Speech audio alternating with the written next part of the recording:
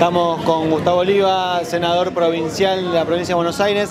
¿Qué significa este acto de convocatoria popular y de proyecto nacional de Unidos Organizados en la disputa que está teniendo en este momento la Argentina con los fondos buitres? Es una disputa importante en términos de este encuentro, muy importante, porque es convocante de lo más rico, lo más preciado que tenemos dentro del movimiento nacional, que es nuestro pueblo.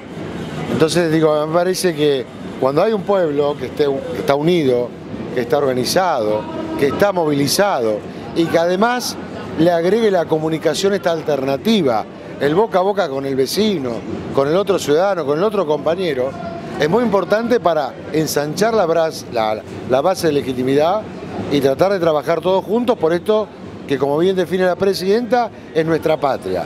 Esto no es una cuestión de un gobierno, esto es una cuestión de poner la camiseta argentina así como se la pusieron hace poco los jugadores de fútbol. Y hay que entenderlo que esto es una cuestión que es mucho más abarcativa a la de un gobierno. Por supuesto siempre hay sectores históricos que parecen más extranjeros que argentinos.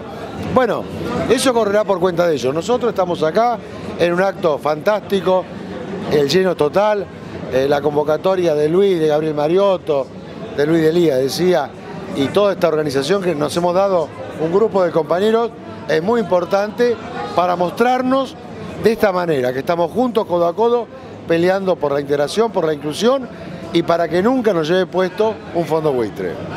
Muchas gracias. No, gracias a ustedes chicos. Y arriba, vamos con todo.